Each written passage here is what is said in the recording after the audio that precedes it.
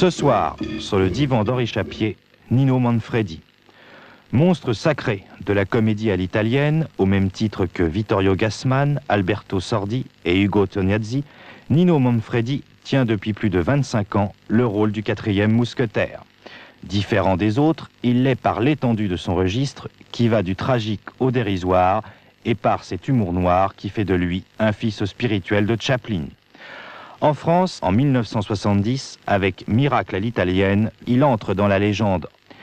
Né le 22 mars 1921 à deux pas de Rome, ce fils de paysan pauvre est élevé dans l'idée de sortir de sa condition. Mais alors que le père rêve de voir son fils devenir un notable, Nino Manfredi range son diplôme de droit et choisit de poursuivre des études de théâtre.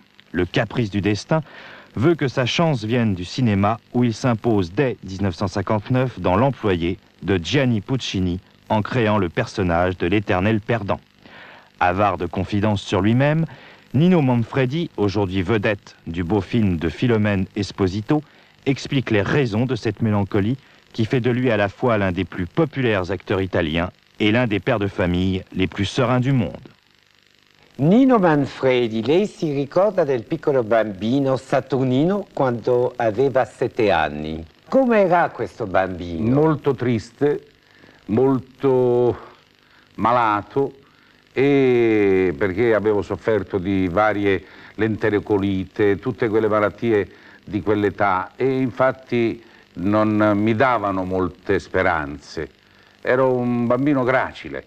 Io credo che mi abbia salvato la mia origine contadina perché eh, i miei nonni mi nutrivano molto, cercavano di farmi mangiare molto, non avevo fame, eh, però avevo molta fantasia. Ecco, questo forse la fantasia mi ha, uh, la, mi ha guarito, mi ha allungato la vita. Allora, dall'altra parte, sono rimasti nella sua memoria qualche immagini su Castro di Volsci, dove sì, è nato, mi sì, pare. Certo, La... certo. Castro di Volsci è un piccolo eh, paesino. Eh, quando io vivevo a Castro di Volsci, credo che fossero 600 abitanti.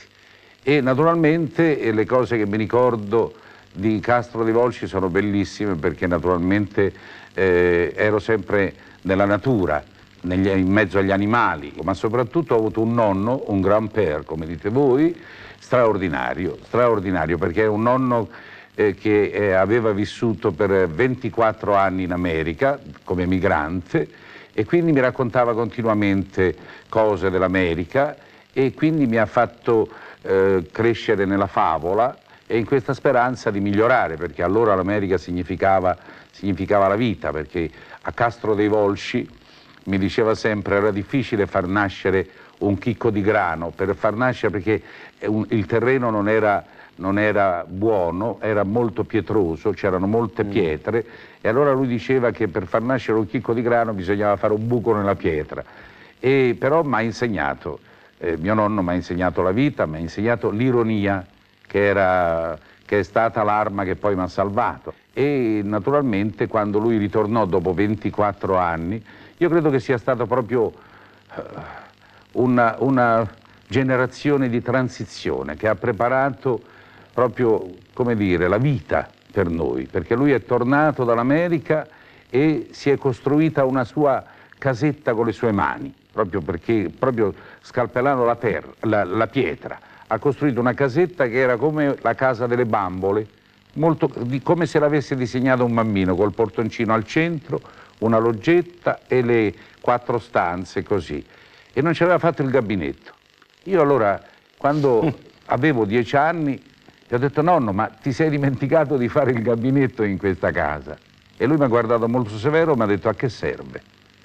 Ma eh, dico per fare la cacca, nonno, no?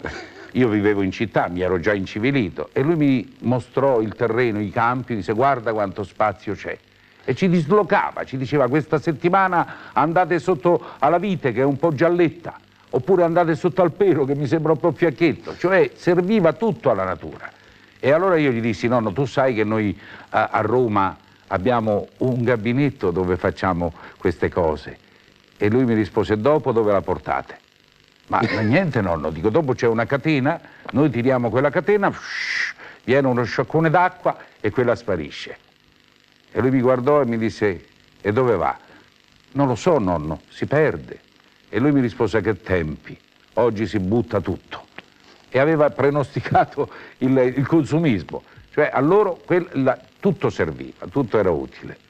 Però durante nove anni lei è rimasto eh, a Mm. Castro di Volci, anche a Frosinone, dove andava a scuola? No, andavo, io ormai mi, mi ero civilizzato, andavo a scuola e durante il tempo della scuola